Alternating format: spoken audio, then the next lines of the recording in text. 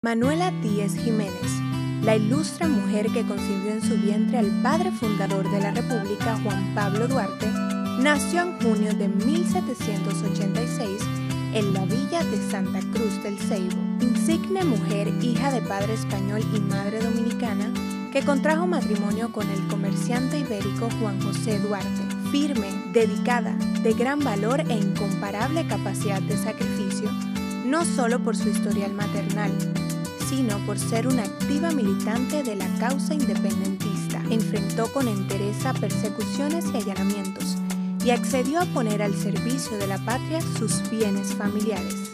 En 1843 asumió el mando de su hogar debido a que enviudó en noviembre de ese año. Fue desterrada en 1845 junto a toda su familia hacia Caracas, Venezuela, donde residió hasta el día de su muerte, el 31 de diciembre de 1858.